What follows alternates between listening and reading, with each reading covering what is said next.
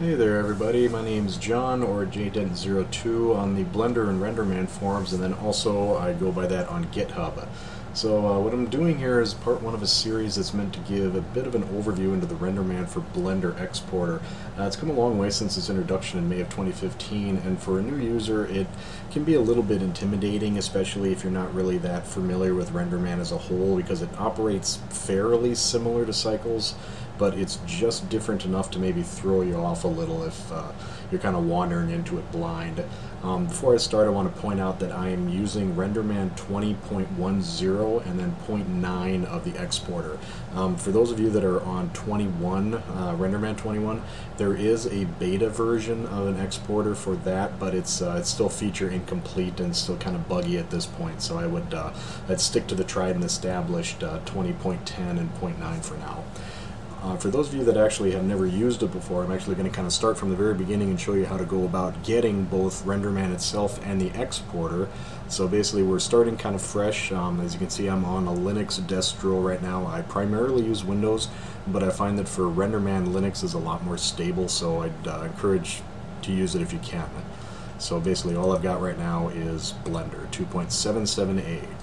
So if we go over to RenderMan's site, and you go to the Get RenderMan, you see this little button over here for non-commercial. Uh, that is probably the easiest way to get it if you're not a paying uh, customer of RenderMan. Um, a lot of us aren't, admittedly, in the Blender community because it's mostly hobbyists. But anyway, so you click on non-commercial and you do a download and install.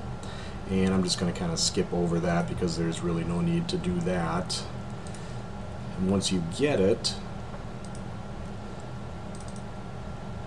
see a folder like this and I'm going to kind of cheat here because I don't know the actual commands so.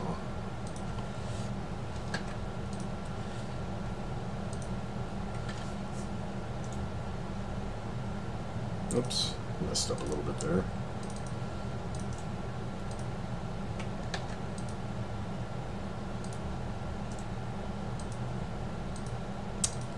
Hmm. Well that's not working quite as well as I'd hoped.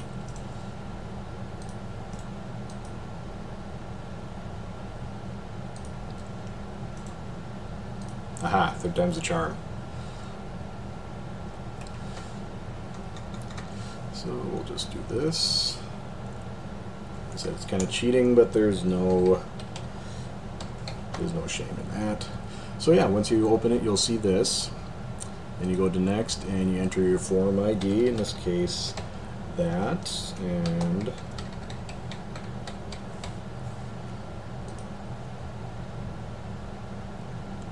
next. And here is the real kicker. You want to click OK on this and click Show All. Reason being is that to use any of the interactive rendering features, you need to actually install RenderMan Studio for Maya because it has an image viewer that is used for the interactive rendering. Now with 21, you won't have to do that. For right now, you're still kind of stuck with it. So um, best advice I have is to go with uh, 2010 for Maya 2016. For some reason, the 2016.5 it, it, gives people some problems and they have some weird crashes, and it doesn't really it doesn't really matter for what we're doing. So we can just go with the 2016 and be happy.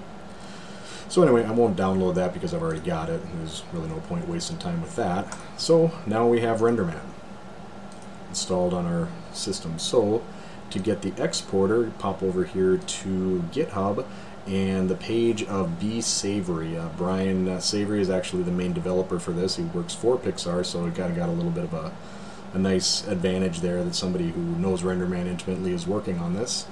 And when you get in here, you'll notice that there are three branches of the exporter, and this kind of goes to what I was talking about. There's the master, which is kind of the closest thing to an official release that there is.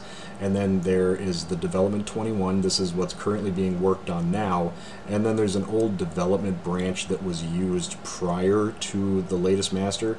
Uh, this branch is pretty much dead as far as anybody's concerned. So it's it's still there, but I'd stay away from it.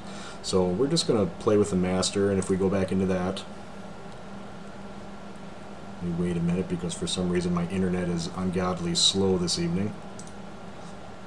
But anyway, do the clone or download and that will give us a copy of the exporter And to get that to actually work, basically all you do is you go into Blender, 2.77, scripts, add-ons, and paste it in there. It's right there. So now we've got RenderMan and we've got Blender itself. It's time to actually go into Blender and see what kind of trouble we can get into with this. we launch it here. You're greeted with our good old default scene.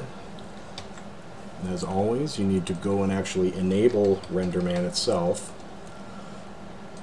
There it is right there. 20 integration. And that's it.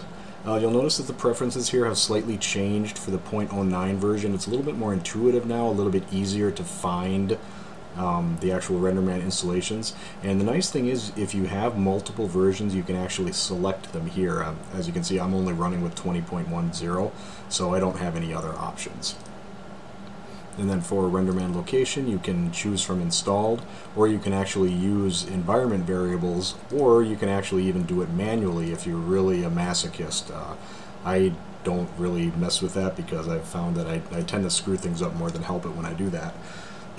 so I avoid it. Anyway, once you have the add-on enabled, and you drop it down, and you'll notice right away that these two icons pop up here, and these are actually pretty valuable and nice, nice to have them freely available.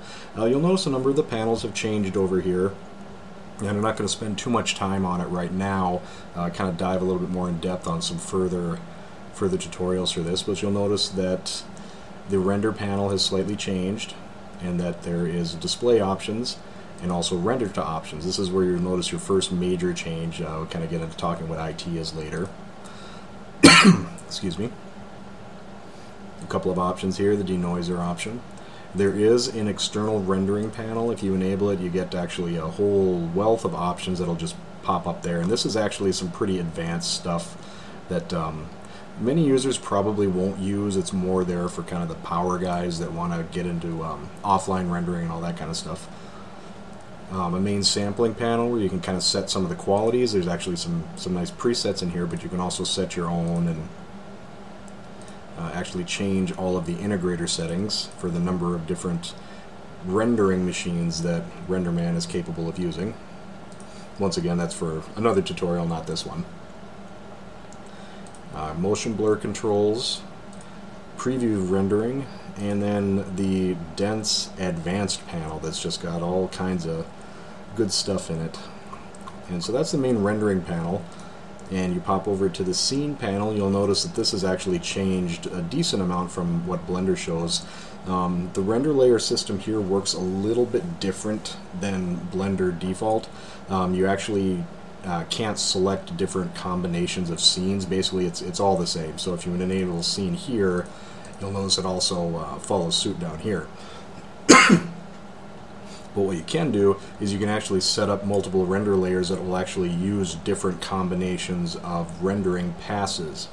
And uh, once again, that's kind of a, a, topic for a different a different tutorial because it's actually a, a, fairly complex system, especially if you click that little button and then you kind of start messing around with all the options that can potentially pop up down here. As you see, it uh, it complex it gets complex much quicker. If we pop over to the scene, uh, you won't notice a huge amount of difference until you start getting down into here.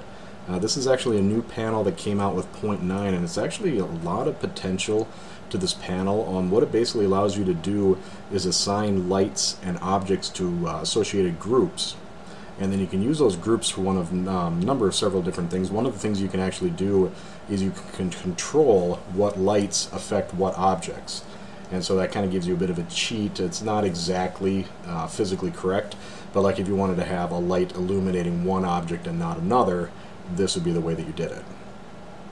Once again, it kind of sounded like a broken record, but that's for a different tutorial. Over in the world panel, there's not a whole lot going on. There's actually uh, mostly mostly nothing going on right now, unless you decided to uh, work with the RenderMan world settings, which is basically a shortcut for adding a light to the sky. Um, you can do it this way, or you can actually manually create one. Um, once again, I can only say it so many times. Not really going to go into that right now. So, the object panel, you'll notice a number of uh, options have been added to deal with RenderMan specific attributes, uh, specifically you know, where the geometry is coming from. You got a couple of different options here, a number of different options here. Archiving, shading visibility, um, overrides, all, all different kinds of stuff that you can do with particular objects. Uh, there are a few uh, mesh variables. In this case, you can kind of see them down here. Uh, we'll get into that a little bit later. And then the material setting um, is more or less the same as what you'll see in Cycles. It is a node-based setup, and everything starts off with kind of a default white, uh, really boring shader, and once you do that, that's when you start to get into the fun stuff of adding different materials, and you can see these materials are selectable from here, and exactly how they're used and what a number of the different parameters are, you know, once again, as always, will be covered by a different tutorial. And that's pretty much it. If you if you do add particles, you'll notice there are some RenderMan specific settings. Um, that can also be something that's covered in a different tutorial. And actually, from the sounds of it, this tutorial series is probably actually going to grow to be pretty big. So uh, I'm going to strap in for the long haul on this one. And aside from that, there's nothing really specific on the physics panel that's specific to RenderMan. So don't really need to mention that. But um, the big one is IPR, and this is kind of what I was referring to with uh, having to install Maya, is you have to do that to get access to the program that is used for interactive rendering. And that's actually a pretty cool feature, so we'll just kind of uh, mess with some stuff here. Turn that into an area light so it looks a little bit better.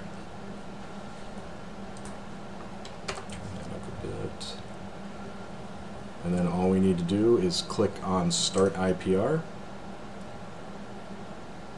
We wait a little bit, and there we go. This is our first RenderMan image. You know, nothing, nothing too fancy. It's just a cube sitting in the darkness. But the IPR session is actually still currently rendering. So if actually, if we grab the camera and say, move it over here, we can notice that our image changed and it actually automatically updated. So this is actually a pretty cool feature. It's a lot like Cycles interactive mode except um, this one's actually a lot closer to the final render quality I found. So it's actually a little bit nicer to use. But um, anyway, that's kind of a little preview of things to come.